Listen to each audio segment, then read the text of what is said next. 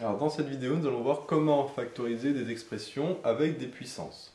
Donc ici, on a deux exemples. Le premier, c'est 5x puissance 7 moins 9x puissance 12. Comme d'habitude, le but pour factoriser, c'est de trouver un facteur commun. Alors au niveau euh, des chiffres, on a 5 et 9, il n'y a strictement aucun facteur commun entre 5 et 9. Le 9 peut s'écrire 3 fois 3, mais le 5, lui, n'est pas divisible par 3, donc on ne peut rien faire. Par contre, au niveau des lettres, on a x puissance 7 et x puissance 12. Donc là, par contre, on a des puissances de x qui peuvent, du coup, se factoriser. Alors, l'idée, par contre, c'est de factoriser toujours par la plus petite puissance. C'est-à-dire que comme on a x puissance 7 et x puissance 12, ben on va factoriser par la plus petite puissance, qui est x puissance 7, parce que 7 c'est plus petit que 12. Donc voilà, c'est ça qui est important ici, dans cette vidéo, c'est de voir que quand on factorise par une puissance, que ce soit d'une lettre ou d'un chiffre, hein, pareil avec les chiffres, et bien à chaque fois on prend la plus petite puissance. Donc ici on va factoriser par x puissance 7. Alors, pour bien montrer d'où viennent les autres termes, on va faire la méthode de division, c'est-à-dire que factoriser par x puissance 7, ça revient à diviser par x puissance 7. Et on va voir euh, l'importance en fait de ça pour expliquer les termes. Alors, du coup, si j'applique ça, ça me donne 5x puissance 7 divisé par x puissance 7, puisque factoriser par x puissance 7 revient à diviser par x puissance 7. Et enfin, le moins 9x puissance 12 devient moins 9x puissance 12 sur x puissance 7, évidemment, selon le même principe. Et là, maintenant, on va simplifier. Le x puissance 7 en facteur, il reste. 5x puissance 7 sur x puissance 7, évidemment, ça fait 5, puisque les x puissance 7 se simplifient. Et là, on a du x puissance 12 sur x puissance 7. Alors, c'est là qu'il faut se soutenir que x puissance a sur x puissance b, c'est égal à x puissance a moins b. C'est-à-dire que quand on a la même lettre ou le même chiffre avec une puissance, eh ben, c'est tout simplement la puissance du haut moins la puissance du bas. Donc là, x puissance 12 sur x puissance 7, le a vaut 12, le b vaut 7, donc ça fait x puissance 12 moins 7, donc 5. Donc ça fait moins 9, x puissance 5, et le x puissance 5 vient du 12 moins 7. Hein. On fait toujours la puissance du haut moins la puissance du bas. Et donc on obtient l'expression factorisée si compte. Alors, c'est là qu'on voit que c'est important de factoriser par la plus petite puissance. Pourquoi? Parce que si on avait factorisé par x puissance 12, par exemple, enfin, pas par exemple, si on avait factorisé par la plus grande puissance, savoir x puissance 12, et eh ben on aurait eu x puissance 12, facteur 2, 5x puissance 7 sur x puissance 12, moins 9x puissance 12 sur x puissance 12. Donc là, ici, x puissance 12 se simplifie, ça donne moins 9, ça, il n'y a pas de problème.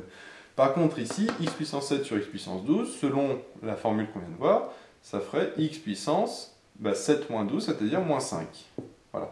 Ce qui fait qu'on aurait une puissance négative. Alors, c'est pas faux, mais euh, c'est toujours embêtant d'avoir une puissance négative. Hein, c'est pas euh, très, utilisable, hein, c'est pas très drôle d'avoir une puissance négative. Alors que si on factorise par le petit, ben, on voit qu'on a une puissance positive.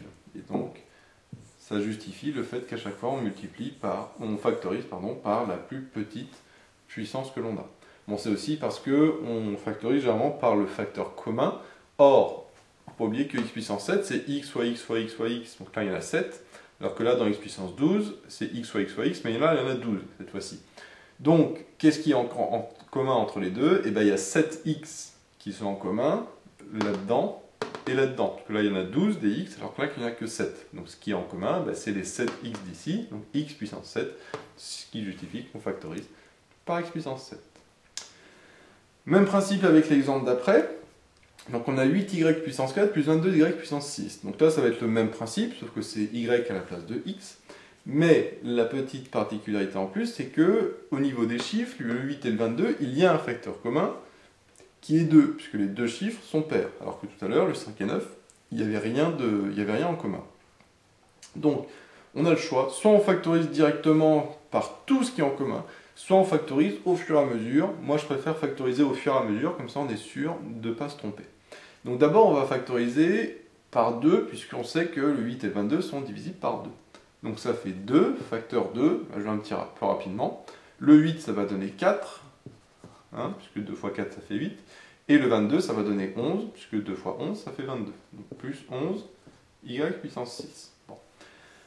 Au niveau des chiffres, je ne peux plus factoriser, puisque là j'ai 4 et là j'ai 11, et il n'y a pas de facteur commun entre 4 et 11.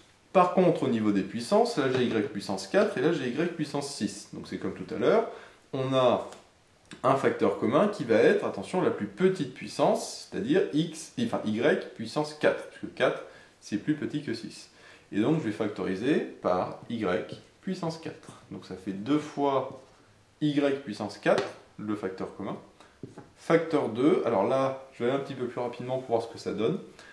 Comme je le factorise ici par y puissance 4, eh ben, il n'y a plus que le 4, puisque euh, si je divise, hein, ça fait 4y puissance 4 sur y puissance 4, donc ça donne 4, et plus 11, y puissance combien? Alors on a vu que ça me donnait 5, pourquoi? Puisque 12 moins 7, ça donne 5. Donc là, ça va être le même principe, comme je le factorise par y puissance 4, ben, je fais 6 moins 4, et 6 moins 4, ça donne 2. Hein, même principe, hein. si je factorise par y puissance 4, je divise par y puissance 4, et y puissance 6 sur y puissance 4, ça fait y puissance 6 moins 4. Et 6 moins 4, ça nous donne 2. Et donc voilà, je peux plus, je peux plus factoriser maintenant, parce que là j'ai 4 et là j'ai 11y carré, il n'y a strictement aucun facteur en commun. Et donc ça nous donne 2 fois y puissance 4, donc 2y puissance 4, juste je le réécris sous cette forme-là, facteur de 4 plus 11 y carré. Voilà, donc là, de là à là, j'ai juste regroupé en en enlevant le fois pour que ce soit plus joli, mais j'ai rien fait d'autre, sinon de particulier.